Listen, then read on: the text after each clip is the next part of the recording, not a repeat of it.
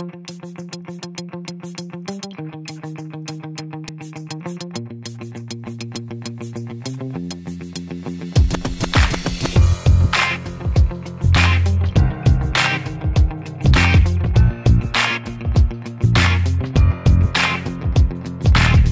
name is Chris Hinshaw, and I am an endurance coach into the CrossFit community.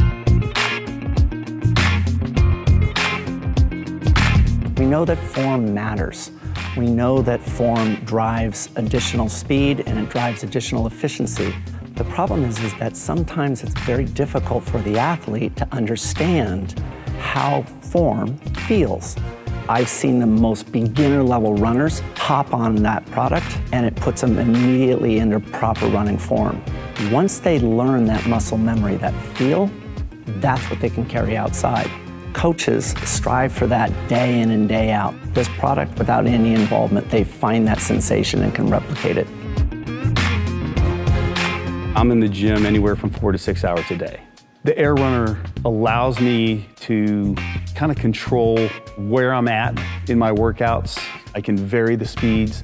I can look exactly where I'm at with my wattage. All those things are super important for feedback for me as an athlete. I need to know these things. The Air Runner gives me more control over my workouts. It's much easier to watch someone's run gait in a controlled and repeatable environment indoors encourages a toe or a midfoot strike a lot and encourages a heel pull, which is definitely good for running form. You'll feel it a bit more in your hamstrings. It's really cool giving instant feedback on calories and speed and distance. So it helps you pace a staggered run a lot faster. A regular treadmill has a motor. It's pushing your legs. With an air runner, you are the machine. You're the motor.